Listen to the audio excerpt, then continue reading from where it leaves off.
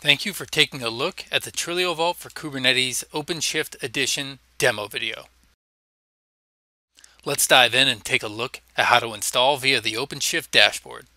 Trilio Vault has been certified by Red Hat for inclusion in the OpenShift Operator Hub. By searching for Trilio Vault in the certified operators, you can install Trilio with a few clicks.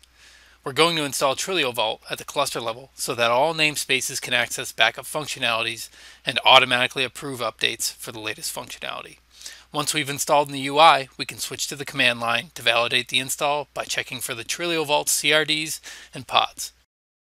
Now, let's take a look at operating Trilio Vault. Our first step is to define a backup target. We're going to use AWS S3 for this demo. Of course, we'll need an app to back up to that target. So let's take a look at the pods to see what's running. At any time, we can check on the status of our backup target custom resource. While we're waiting for the target validation to happen, we should define a backup plan to tell Trilio Vault what, when, and where to back up to. By performing a describe on the backup plan that we created, we can see the specifics of the plan, including the monthly full and daily incremental backups. These backups will include all resources that match the label k8s Demo app in the namespace titled Demo Source. It should be noted that Trilio can also protect Helm and operator-based applications for the ultimate in backup power. Once this is complete, we're ready for our first backup. Let's apply our YAML to create a backup and then verify its configuration, check its status, and take one more deep look with a describe to see the logs. The last step in the process is to restore our newly created backup.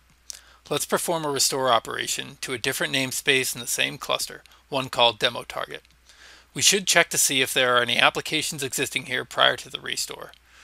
We're going to apply the following YAML file which specifies the backup plan that we previously used for the backup and the namespace that we want to restore to. If we don't provide a specific point in time, we'll restore from the latest good one.